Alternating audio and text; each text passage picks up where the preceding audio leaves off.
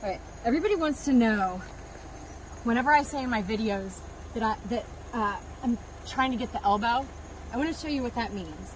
So you can see how he's wrapping. You see how that coil, the first third of his body is going around me right now?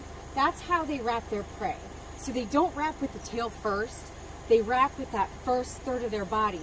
So when we say they're thrown an elbow, that's what we, we mean. So on the big snakes, if we can keep them from getting that first coil around us, see how he's going up again?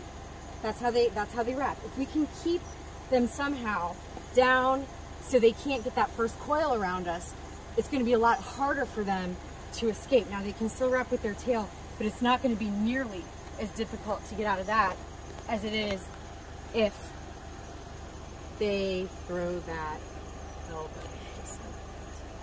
Boom.